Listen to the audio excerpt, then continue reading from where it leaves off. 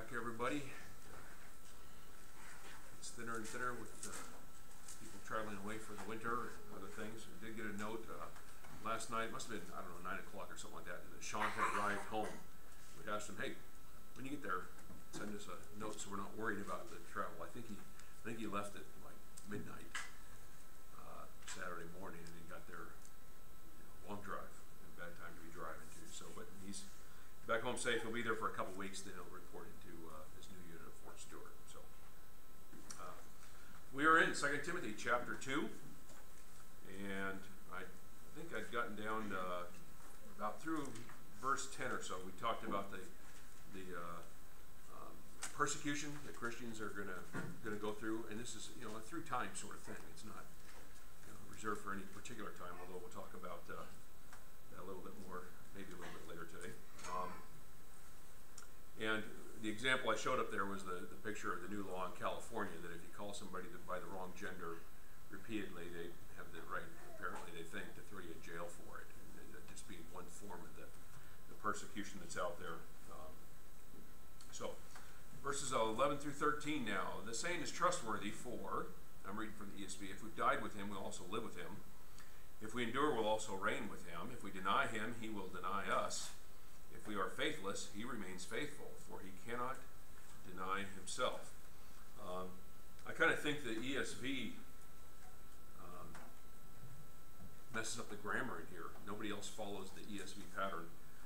And, the, the, difference in the pattern is that uh, the ESV kind of considers the for to be part of the introduction, and the rest of the translations that are out there put the for afterwards. For if we died with him, we will live with him. Um, it may be a, a subtle difference, but it, it's kind of, I'm not sure why the ESV did it the way that they did either.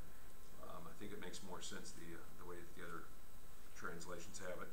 But he says if we died with him, we're going to live with him. How are we going to, how do we die with Jesus? Okay, one of the one of the things is bap- being baptized, right? Now we can turn for baptism Romans uh, six.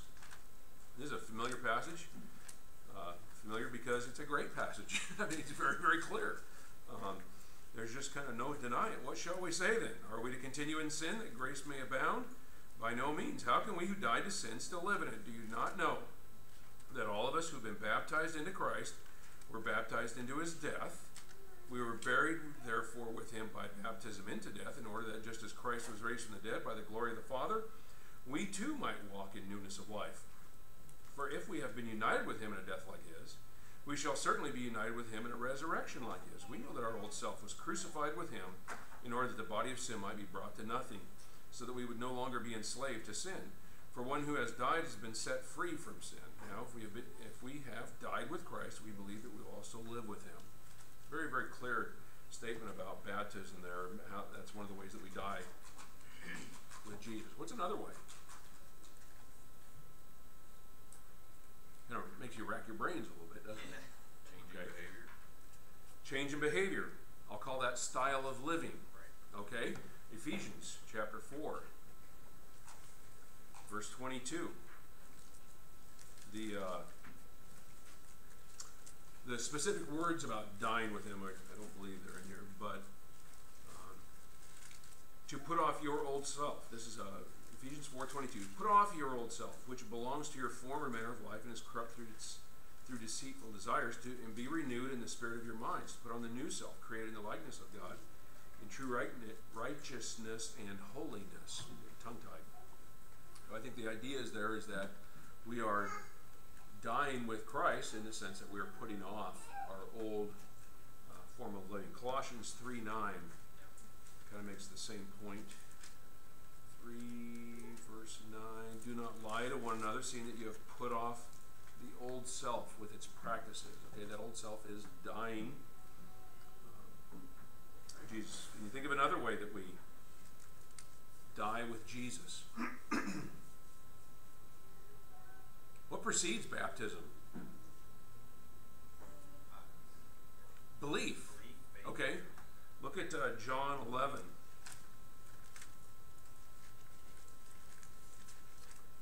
John 11, verse 25. This is uh, the, the uh, circumstance surrounding the death and resurrection of Lazarus. In 24, Martha said to him, I know that he will rise again in the resurrection of the last day. Jesus said to her, I'm the resurrection of the life. Whoever believes in me, though he die, yet he shall live. And everyone who lives and believes in me shall never die. Do you believe this? He, he thought it was important too. um, and then 1 Thessalonians 4. 1 Thessalonians 4. 14. He's talking about belief again. Since we believe that Jesus died and rose again, even so, through Jesus, God will bring with him those who have fallen asleep. Okay? So, talking about a specific subset, okay, people that have died before the general resurrection. But it's uh, the ideas are that if you believe, then you, in a sense, have died Jesus, and because of that, we are going to live with him. Now, the implication of this is um, what if we haven't died with him? Then you're not going to live with him. Okay? It is as clear as that. If you do this, then, well, if you don't, then not. That's what, uh, what he's trying to get across. So then he goes on, and says, if we endure, we will reign with him. What's endurance? Staying true, faithfulness, uh, perseverance. Frog in my throat. it's water time, George. Sorry. okay. So if we endure, we will reign with him. What's the implication? If we don't endure, we're not going to reign with him.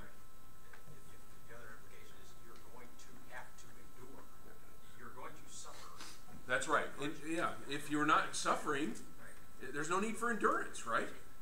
Okay, so he's, he's hitting this from several different directions. If we are faithless, oh wait, deny. If we deny him, he's going to deny us. This is really clear. Matthew 10.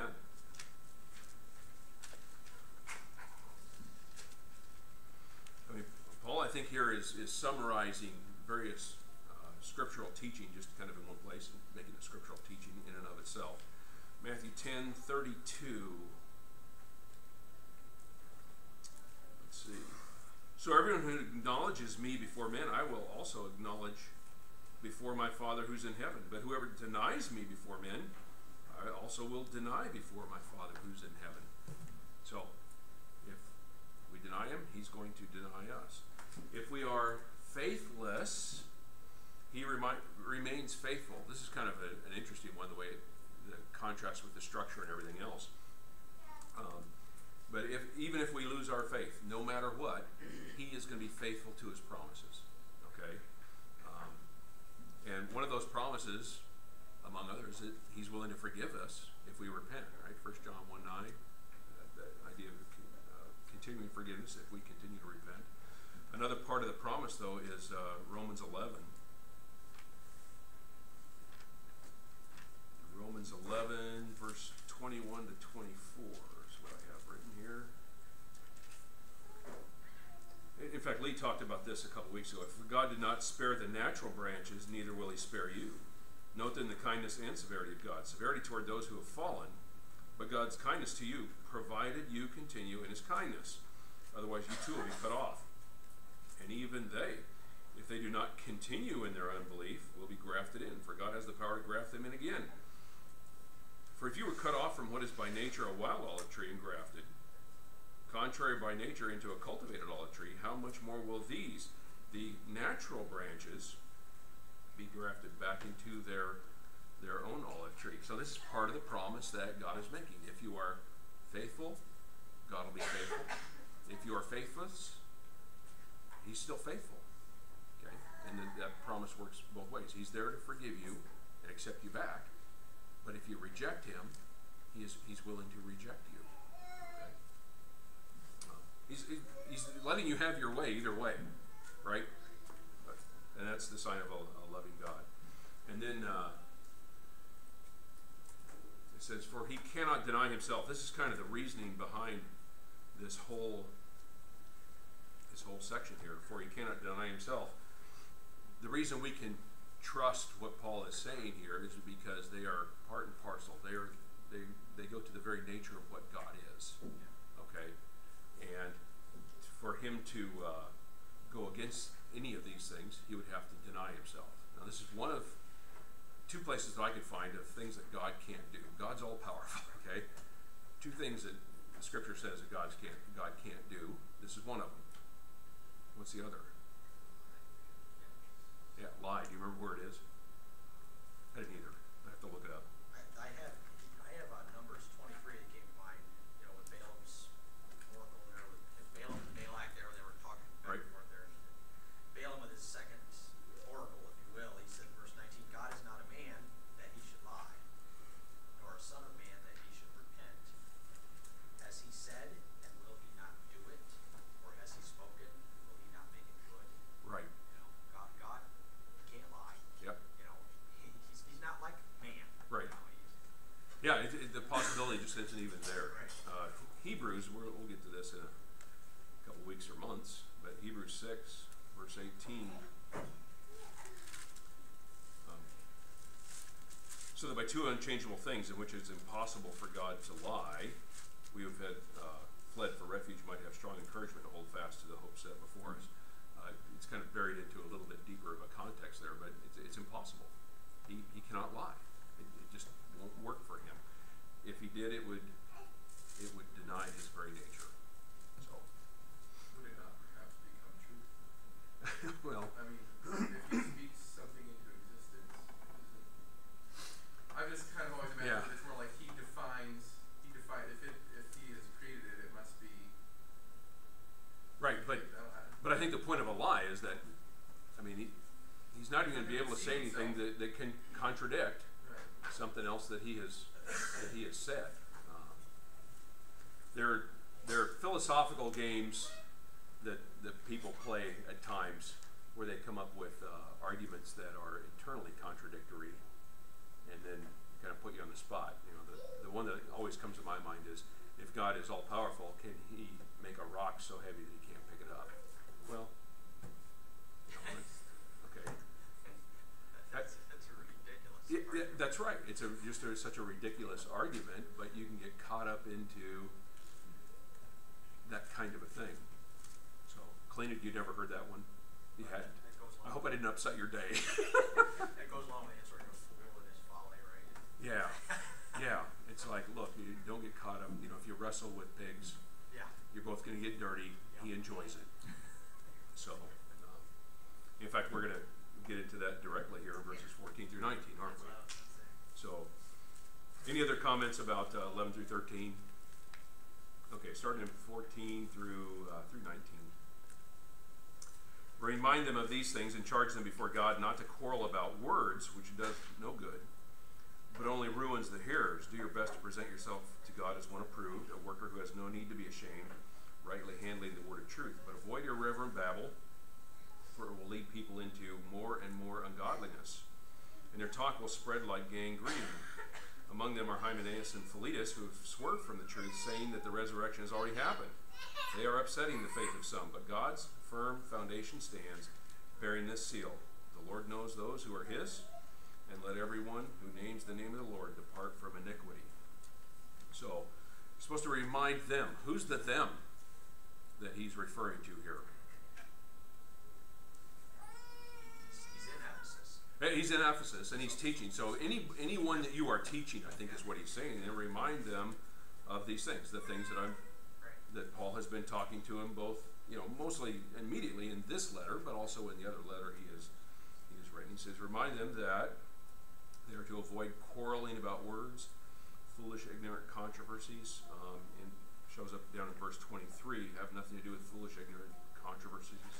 You know, they breed quarrels. Um, and this, I think, is a little bit of a look back at the soldier. Remember last week we talked about the soldier? The soldier is serving and he's paid and don't we don't want you to get tangled up in these things over here. Commit yourself to this over here. Okay, Lee, do you have a comment? the, the them is added in both remind them of these things and some will be charged them in the presence of God. So remind of these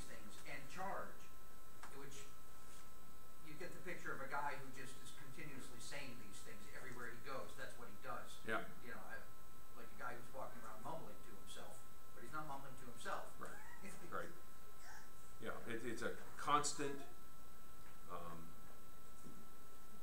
theme of what he is teaching about, on and on and on. So, um, but why why avoid these things? Because it ruins the hearers. Okay, the people that hear this. Um, if, if we had a visitor walk in and we were sitting here quarreling, okay, fighting back and forth about words, they would be they would be very turned off to the whole gospel thing. And and people are turned off to that sort of thing. Somebody who is in here, who's a member of the congregation, and this goes on, okay, they get very discouraged also. Okay, it works to their detriment. But when he talks about quarreling about words, he's not talking about reasoning about words. Okay, to have a reasoning discussion about what a word means and everything, that's not what he's what he's about here. What he's about is this fighting back and forth that, that ruins hearers. You know, says "A- avoid that. Um, in verse 15, very common. Uh, um, we refer to this verse a lot. I think. Um, do your best. Uh, the ESV says, "Do your best." The New American Standard and New King James, "Be diligent." The Old King James, what's the word there? Is- Yeah, study. Study. Okay. I, I think this is just a really unfortunate translation. But in 1611, it was a very good translation because in 1611, when it was made, the word study meant to be studious. To be studious. Today, it doesn't doesn't bring that meaning to us so much. Okay, Garrett. Yeah, Latin word for that actually means to practice. Yeah, Studio. yeah. Yeah. So, so the difficulty is that if you're if you're looking in the Old King James, you need to understand what the word means. We're not going to quarrel about it, right? Um, but um, if if the meaning you get out of that, if you're studying an older translation that has that, is that you should stick your head in a book and know what every word means, and that's the limit of it. Then you're missing the point of what he's talking about, because he's saying, "Be diligent." Um, uh, do your best, like the ESV says. So the way you live your life, be consistent that you're living your life within God's word, and that in turn will uh, um, is the way to present yourself to God as one, an approved worker who doesn't need to be ashamed. Uh, and then it says handling, uh, accurately handling or rightly dividing, I think is the older translation, rightly dividing the word of truth.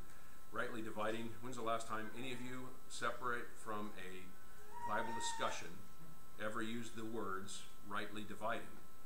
We use that concept all the time. Yes, we do. We don't use those words. That's right. Concept is used. Right.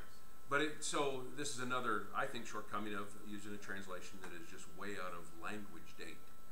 Is that rightly dividing the, okay, I know that there's an Old Testament and New Testament. Have I rightly divided the word? Yeah, but there's,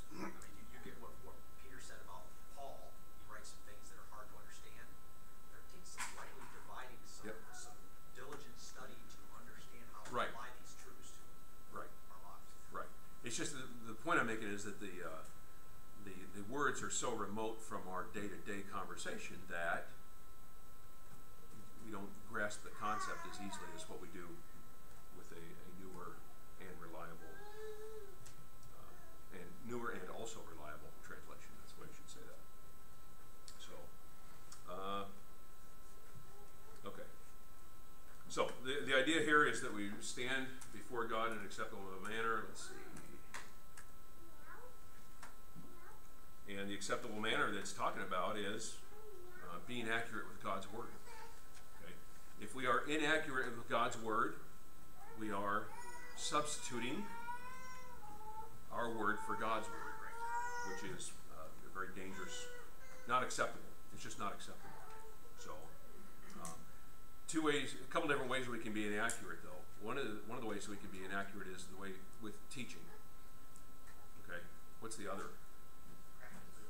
practice, the way we live, the way we do. Okay, if we if we are super Christian in here, but go out there and are not, then we are not accurately handling uh, the word truth, God's word. So, and we have to be be aware of, of both of those. So, okay. Anything else on uh, 15?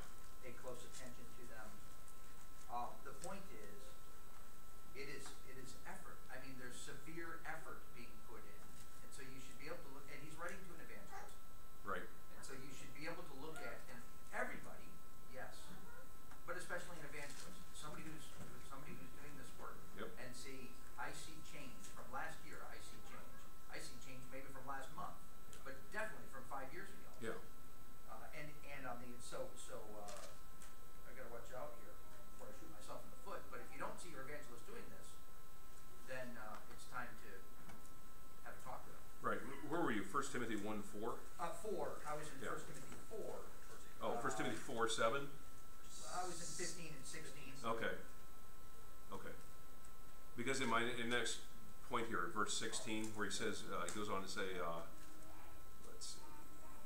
Avoid irreverent babble, for it will lead people into more and more ungodliness, and their talk will spread like gangrene. Um, thi- this idea of irreverent babble, okay, that goes, he, he's mentioned this in First Timothy one, um, uh, one four, nor to devote themselves to myths and endless genealogies, which promote speculation. We talked about that. In four seven, have nothing to do with irreverent, silly myths. Rather, train yourself for godliness. Um, in these, uh, in in uh, First Timothy six twenty as well. Guard the deposit and trust you. Avoid irreverent babble and contradictions of what is falsely called knowledge. So he, Ephesus seemed to have a problem with this.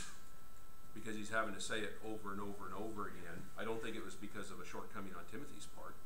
I think it was just uh, Paul's insight into what was going on in Ephesus. You know, things that he had seen while he was there, things that he had heard um, from from people who had uh, been with him. So There's, I mean, you had that thing when you did Ephesians, that Diana, that temple of Diana, all that jazz. yeah, This was full of this stuff. yeah, yeah, yeah, part and parcel. You know.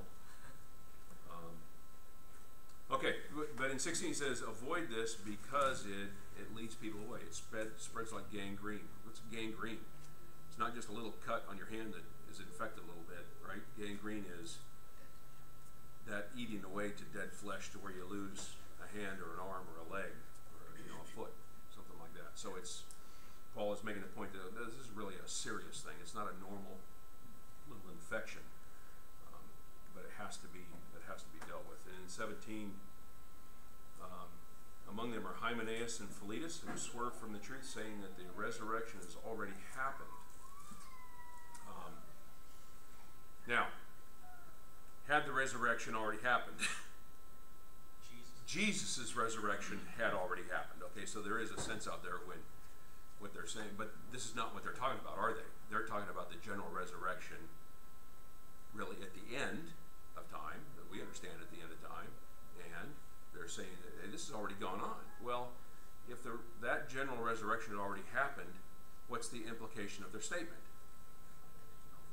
There's no resurrection to come because it's already happened.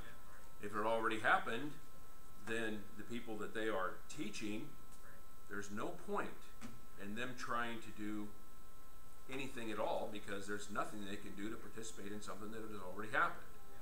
Okay, in, in terms of a resurrection. Uh, Paul talked about that extensively in First Corinthians fifteen, you know. right. You know, we, we'd be the most pitiable of all men. That's right. That's right. So, um, if the, the other thing is if these two guys are right, Hymenaeus and Philetus, who else is not going to participate in the resurrection in the immediate context? Paul and Timothy. Well, yeah. Right, missed both of them. Right. It's okay, so there would be no point in that. And the, the whole thing is, well, if Paul can't be resurrected, then is there any hope for us today? None, none whatsoever. Um, so, the, the point that he's making is these guys are wrong. because they are wrong, you've got to put a stop to their teaching. Don't let it, don't let it go on. It's going to ruin believers. Um, so, yeah, Uh, the AD seventy theory, or realized eschatology. yeah, right. You have, are you gonna talk? No, I don't. But go ahead. I Well, th- it's this, right here, that's Yeah. what it is. And, so, I, I wanna focus on the, the threat here, that's listed here. So when we hear among our brethren, oh, so-and-so, uh, believes in the AD seventy doctrine, it's, it's no, it's nothing to dismiss lightly, because it says that they will upset the faith of some. Yeah, that's what it does, that's, that's Satan's plan, is to upset the faith. So those who are believing it, if I understand correctly, their faith has been upset, and when they teach somebody else, they're upsetting their faith, and it's, so it's, it's nothing to play with, nothing to allow. Yeah. Um, if, you, if you're not familiar with the AD seventy theory, it is the idea that at the destruction of Jerusalem, that was the end of times. Okay? And everything really ended then in God's plan of salvation, kind of. And that, and nowadays we're just kind of living with the aftermath. Um, I, I, I can't, luckily I can't think of the name of the guy that pushed it. and, and, and that's good because it ought to be forgotten to history. Um, I do have a pretty good, it is short, but it's a pretty good little review of it. And what I recall from reading that book, I think the book is by a fellow named Wayne Jackson, is that it, uh, they change terms right in the middle of an argument. And if you don't catch that change in terms, you can be taken into this false argument that they're making about realized eschatology, that the end times have already been realized. Eschatology is a study of the end times. So, uh, I think Wes might have that book right now. Actually knew a Christian who did that. Who believed it? Yeah. Yeah. Oscar Miles. Yeah, I mean, yeah, who now knows the truth. and Right. now he knows. I think he passed away, so. Yep. So, okay. Verse 19, but God's firm foundation stands, bearing the seal, the Lord knows those who are his, and let everyone who names the name of the Lord depart from iniquity. Okay? There are a lot of pretenders and false teachers out there, and God's word is going to point them out. God knows who they are. God's word is going to point them out as well. And if we're going to claim to be Christians, then we need to avoid sin because we could we could fool maybe one another a little bit. We're never going to fool God. Right. Okay, He knows He knows who is following and who who is not.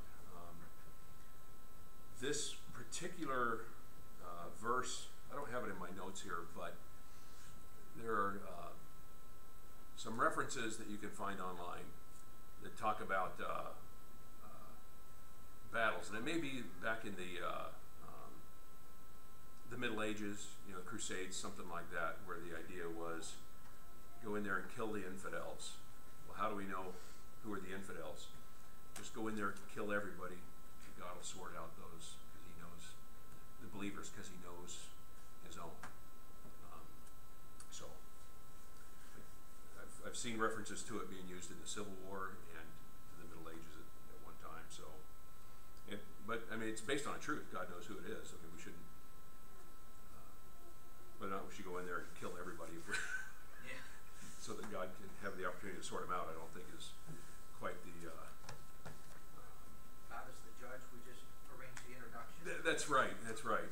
Um, I don't think that's really the point of what he was trying to get across. So, okay, uh, twenty and twenty-one. Now in a great house there are only not only vessels of gold and silver, but also wood and clay, some for honorable, honorable use, some for dishonorable. Therefore, if anyone cleanses himself from what is dishonorable, he will be a vessel for honorable use, set apart as holy, useful to the master of the house, ready for every good work. Let's catch up here. So Paul is going to draw an analogy from a vessel. He's been talking about people who are false teachers and the, the bad sorts of things that come from their work. Um, but he's going to attack this from a different perspective again, and the way is to use, be a profitable workman, okay, or a profitable vessel. Vessels of gold and honor, and, and you know we honor the the ones that are gold and silver. The implication is that we are to be those. There are others that are less honorable, that are, that are in the house, um, and we're not to be, not to be those. I can remember as a kid walking into an antique store.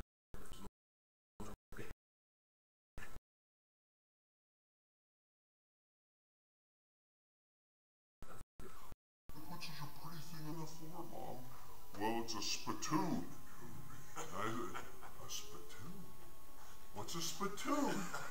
It's for people to spit in if they're chewing tobacco. Ugh, you know, and why would they make it look so nice? You know, I didn't understand that as a kid. Um, anybody ever come across that same situation themselves or anything? I mean, the first time a child learns what a spittoon is, I think that, uh, whoa, why would you make it look as good as it does? Uh, I think it's referring to things that are worse than a spittoon here, necessarily, more of a chamber pot kind of, kind of idea. Um, but, uh, one of them, we, I mean, we become that gold and silver vessel by acting, acting honorably. If we fill ourselves with dishonorable things, what are we then? We're that worthless clay or wooden vessel, okay, that if it breaks, it's just no big deal, okay, because we're, we're full of the wrong thing.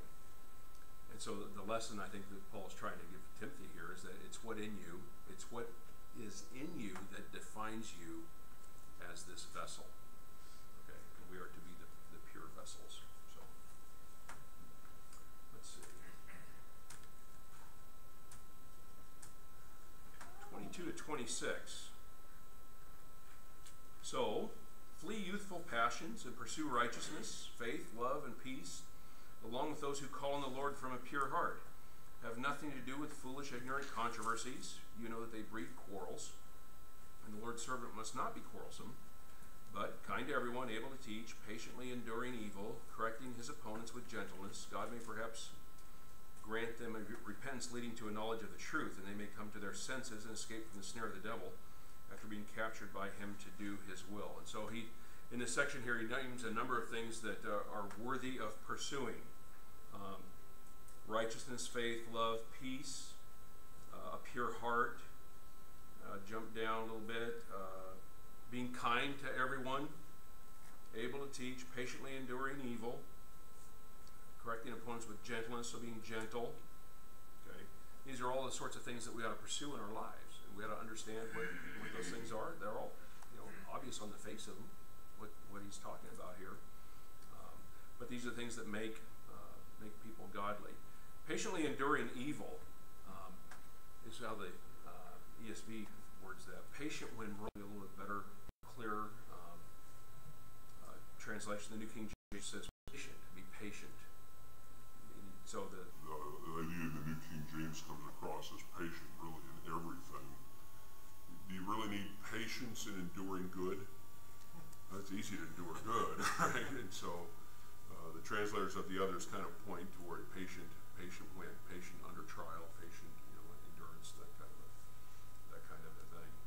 Um, back in verse 10, he has said, uh, I endure everything for the sake of the elect, so they may obtain the salvation in Christ Jesus with eternal glory. So this idea, Paul is being patient. He's enduring everything that gets thrown at him so that he can, you know, be the light to a lost world that God wants him to be. And then there's things to avoid. Foolish, ignorant controversies that we talked about a lot. Quarrelsome people. Uh, hits it here several times. Romans 16. The, uh, 16, verse 17.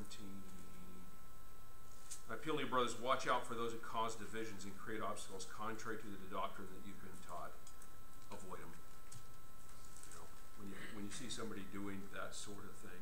Now, if it if it's something that's happening in the church, you have to go beyond avoiding them. You have to deal with it. Okay, but when we go out in the world, we're going to run into uh, quarrelsome people. Just stay away from them. So, now we need to be give, ready to give a defense when somebody comes out with something that is so patently wrong. And we, we over here, we need to chime in and say, you know, that, that just isn't right. I just don't think that's right.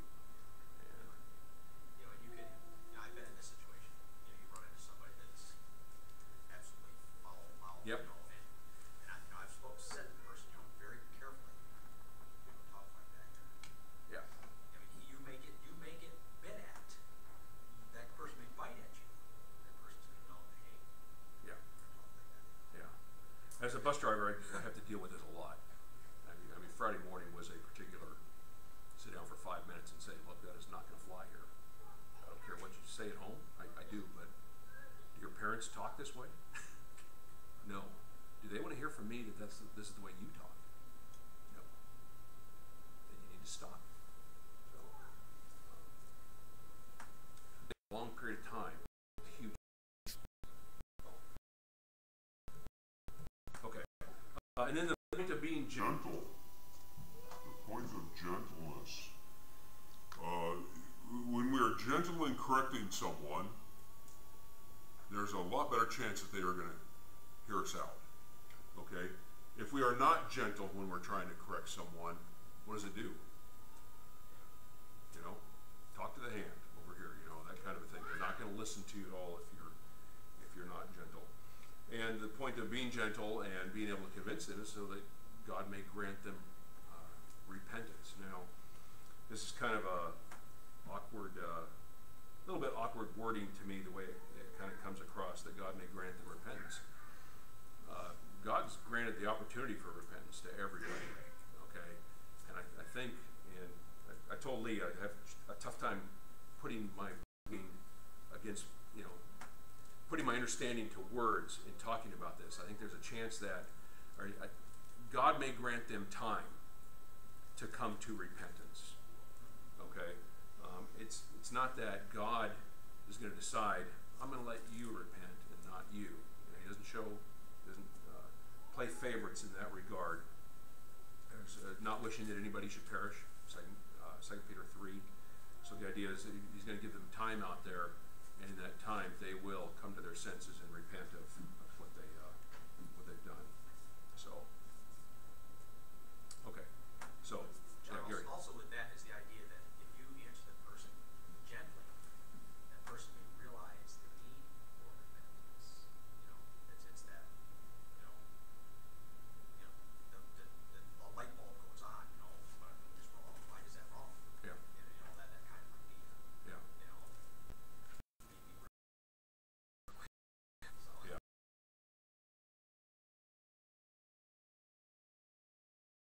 through that, but the fruit may still be there. We just may not be around for it. So, um, so the, the other idea behind gentleness, I, I don't know if there's is there a faster way to lose credibility among your coworkers than to you know lash out in anger at them. I, boy, I, you know after that nothing nothing that you say will be heard. especially if the credibility is coming into question when specifically talking about the fact that you're a Christian. Uh, yeah, yeah. But even if they know when they see you lashing out, Yeah, yeah, yeah. okay, it, most of the credibility is just gone. Why should I behave like that? Right. Um, so there, there's a there's a verse I didn't look it up, but it is uh, the anger of man can never. Produce the righteousness of God. Yeah. That's Okay. chapter one, isn't it? That's probably where I saw it. I just read through James the other day. One like nineteen or something. Uh, no, twenty. James one twenty. Gary. For the anger of man does not produce the righteousness of God. Simple as that.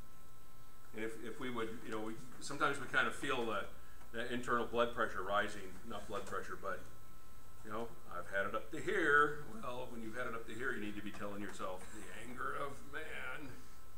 Um, and we need to be serious about that. So, okay. In the end, oh, go ahead.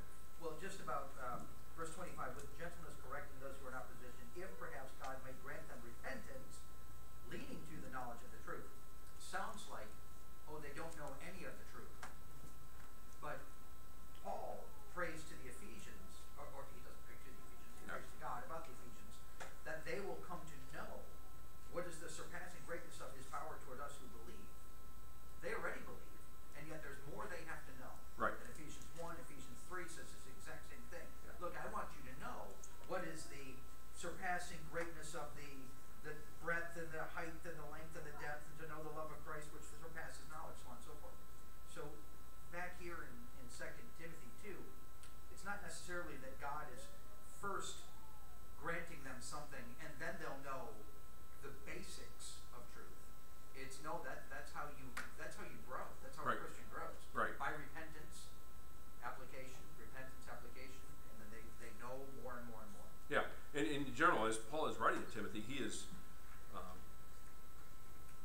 there are snippets in there of kind of a bare bones evangelism, okay, to the lost. But I think the balance of both letters is trying to bring someone along. Into, it's a it's a help to Timothy, but it's what Timothy can help Christians in Ephesus. So, uh, at the end there in twenty-six, they may come, come to their senses is, uh, that you know it directly speaks to the person who's in error. They may, may be in error because they're completely lost. They may be in error because they have accepted a, some bad doctrine from someone, have a misunderstanding of doctrine. We're supposed to help both of them. We're supposed to be mature enough that we can help them come to their senses because if they if and when they do come to their senses, they will react the right way. If they're thinking logically, if they come to their senses. So the best way to do that is to be patient in our efforts. Consistent, be patient, um, be prepared for the task that's before us, and help somebody through that. Anything else in uh, chapter 2? George?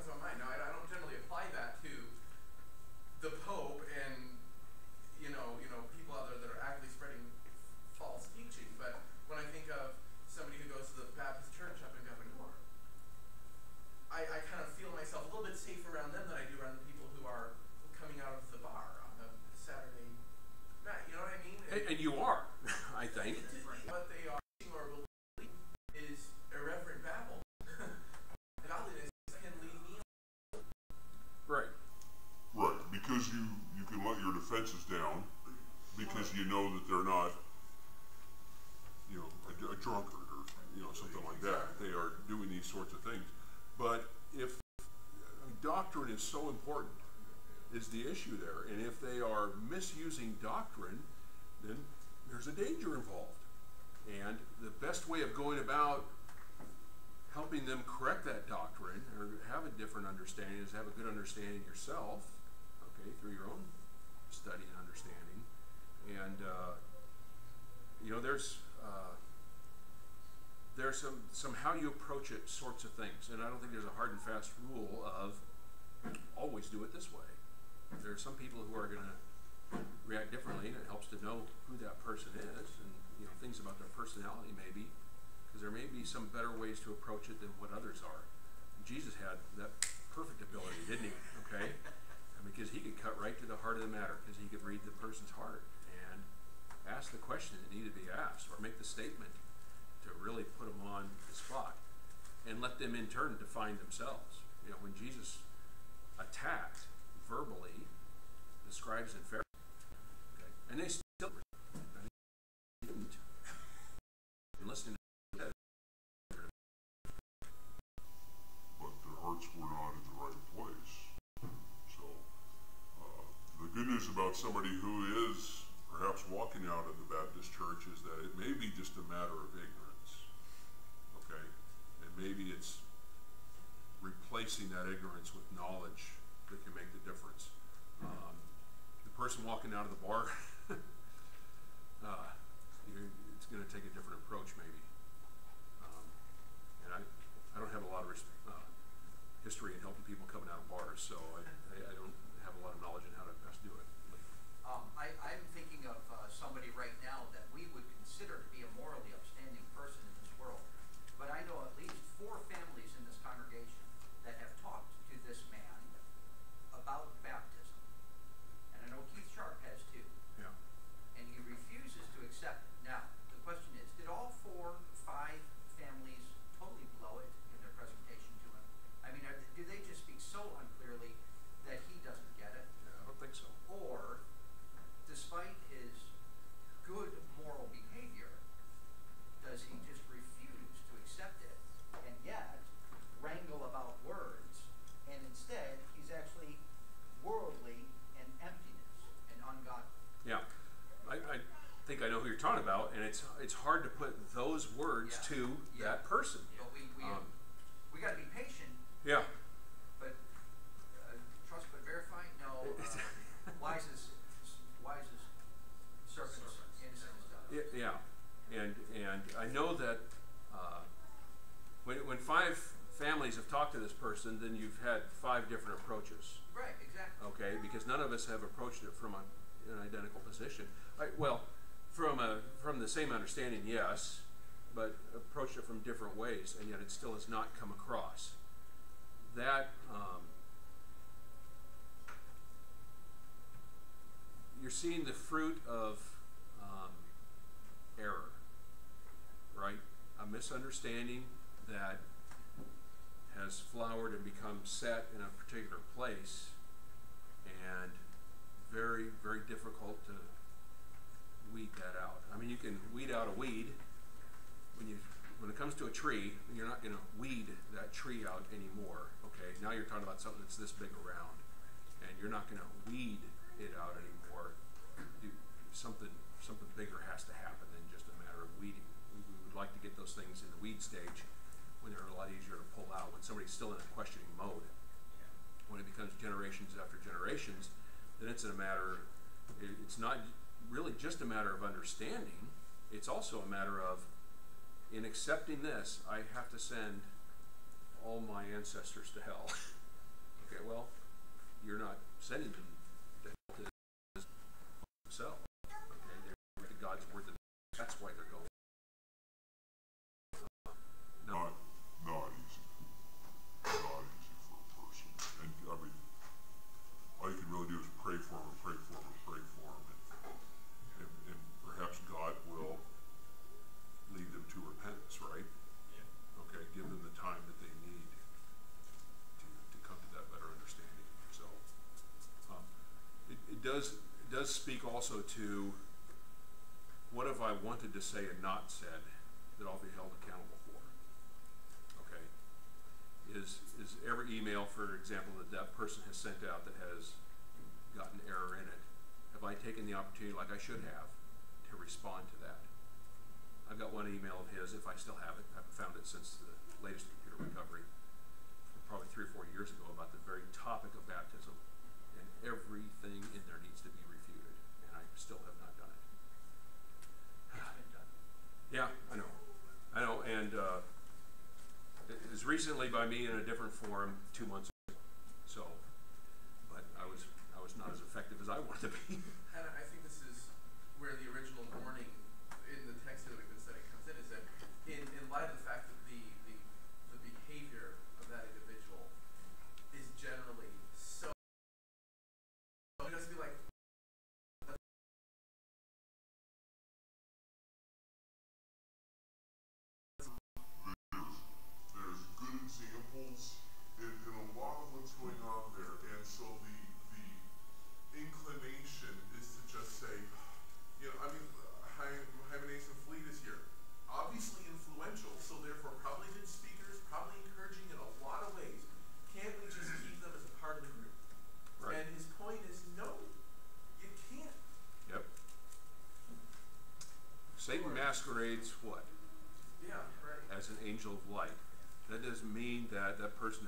trying to be satanic, okay?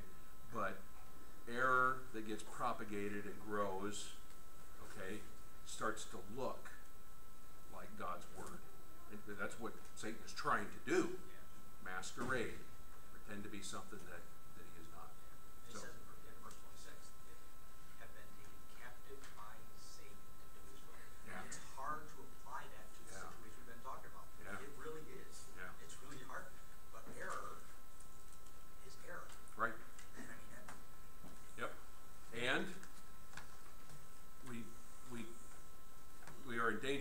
the same.